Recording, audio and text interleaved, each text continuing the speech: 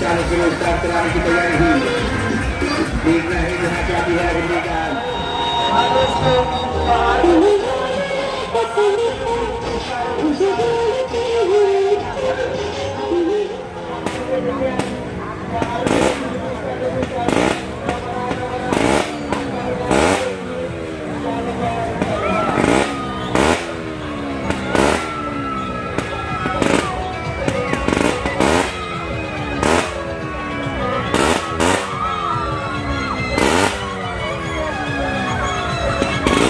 ये सोचा रही रही सोच रही अंदर की लगार अंदर पहुँचने लगा प्रोग्राम चालू शुरू स्टार्ट कराने की तैयारी.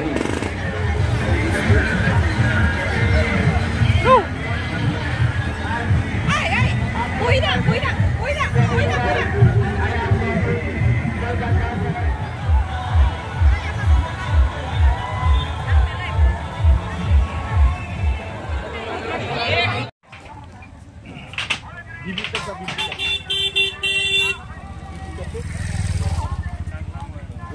yeah.